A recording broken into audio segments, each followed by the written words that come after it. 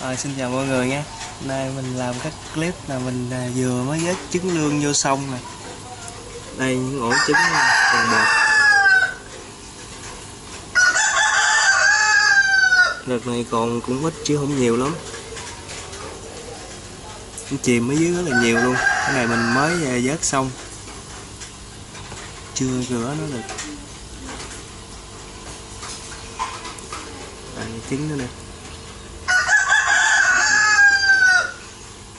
Còn dính trong bọt với nó chìm ở bên dưới à, cái à, đá thao nè.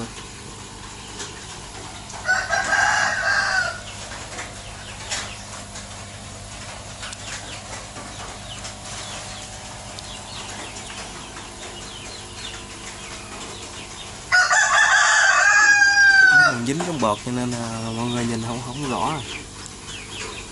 rồi cận cảnh này Ừ, Đây cái trứng này.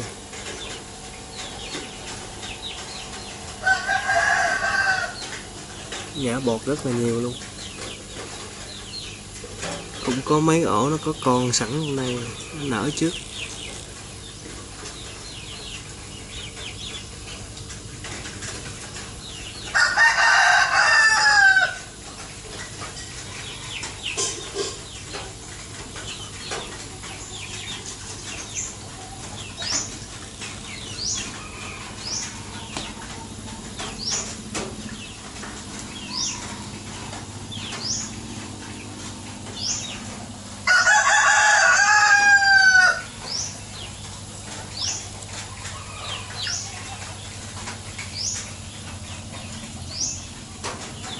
get it.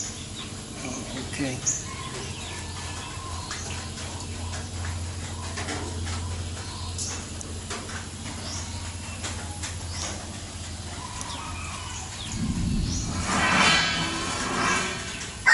mình ờ, vớt trứng thì ờ, mình lấy cái ờ, mình làm cái vợt nhỏ nhỏ mình vớt nó là nó nó ngon hơn là mình lấy cái cái muỗng mình vớt